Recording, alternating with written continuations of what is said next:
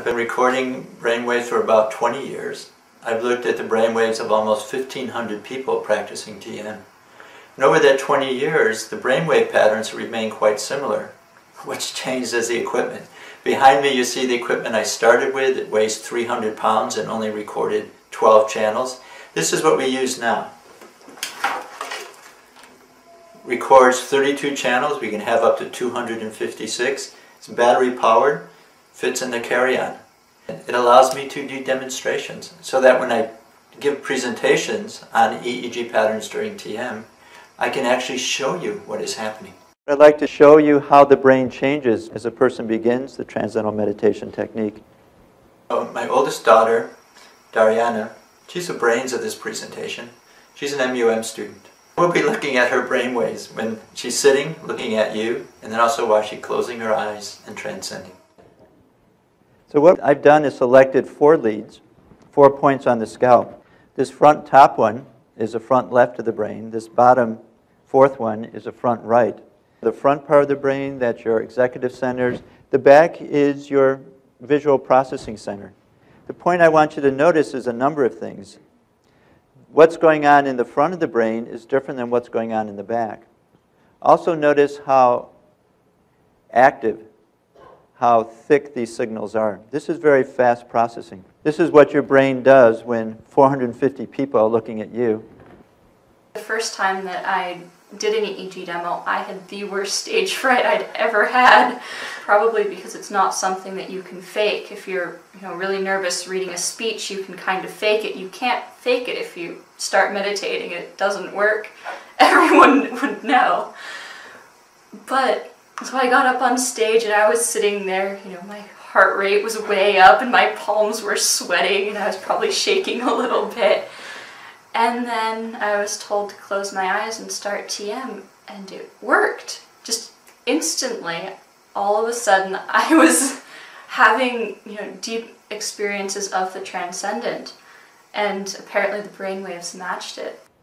So I have Dariana close her eyes and she'll begin the TM technique.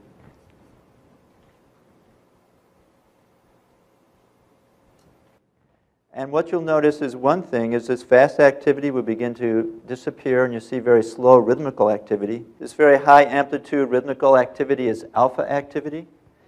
And you'll also see it in all the different sensors. It was first seen here in the back of the brain. Notice as well, we see this rhythmical resting rhythm of the cortex here in the front of the brain. That whole mental chatter that's constantly going on, evaluating, deciding, planning, worrying, all of that is settling down what happens is everything else, all of the normal thoughts and activities, just uh, mental activity goes away. And it just becomes that mental silence that's there anyway.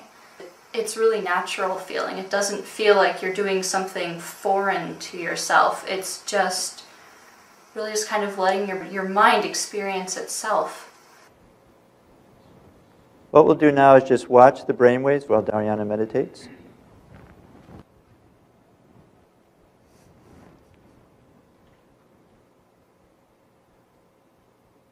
So the point I wanted you to see is how quickly the brain changes and how it's really fundamentally different than just waking experience. This has very real benefits for you as a student. Experience changes the brain. You're adding an experience of silence, but it's not dull, it's not passive. There's a lot of vitality, there's wakefulness there, there's alertness. And that brain state and that inner experience is integrated in a very systematic, practical, real way with the ability to think and, and enjoy the world. Lately, I've been meditating right after class. And I've noticed that then when I do my homework, I'm just really efficient. I just get it all done and I'm finished with it. But if I do it the other way around and I try and do homework and then meditate, I have to take this chunk of time in order to kind of relax and regroup after class. I have to eat a snack, I have to do all these other things.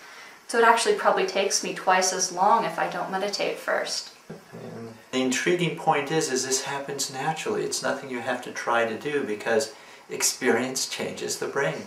And moving the brain back and forth from this restfully alert state during TM to focus processing and activity, the two begin to be knit together into one very integrated function of brain and consciousness.